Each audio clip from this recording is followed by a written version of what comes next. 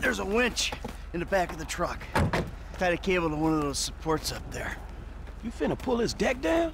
Hey, that brick pulled my marriage down. Well, maybe I should come up there and practice my backhand.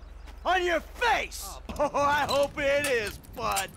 We hooked up, man. You come into my house, take my money, and nail my wife? Are you fucking kidding me? And we'll see how you like it when someone fucks with your shit. Oh, hey, wait!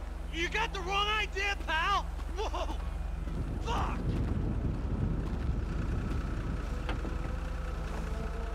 Here we go! Let's see what happens. Dude, you are probably crazy. Sorry now, you wasn't already.